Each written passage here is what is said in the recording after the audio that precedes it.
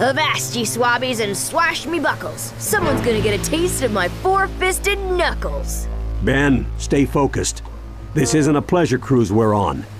There's some sort of subspace transmission emitting from this refinery. I'll see if I can track it while you find Dr. Animo. Oh, yeah. I'm proud of you, Ben. Your cousin needs you, and you can do it. Right.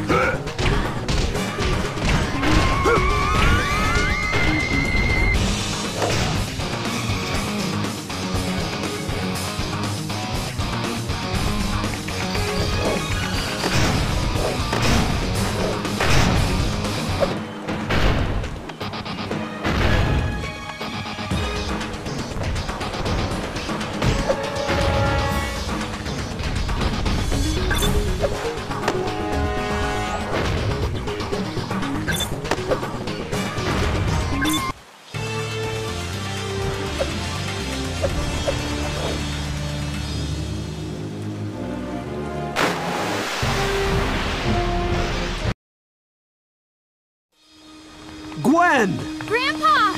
Ben! So, I see you avoided becoming a hideous mutant freak. Barely. Too bad I can't say the same for you. Whoa.